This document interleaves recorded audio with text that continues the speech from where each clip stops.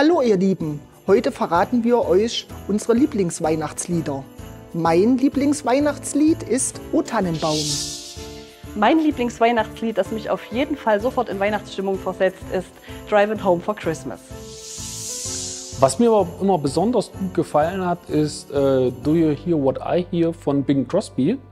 Da ich früher auch immer sehr gerne viele Filme, so Musical-Filme gesehen habe und diese Lieder von Bing Crosby zum Beispiel sehr häufig vorkamen. Deswegen mochte ich immer sehr gern Do You Hear What I Hear von Bing Crosby.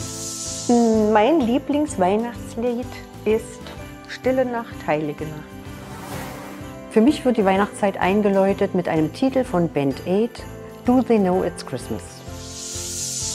Also bei meinem Lieblingsweihnachtslied brauche ich gar nicht lange überlegen. Das ist nämlich Santa Claus is Coming to Town. Und das höre ich zum Backen, zum Schmökern und allem, was zu Weihnachten dazugehört.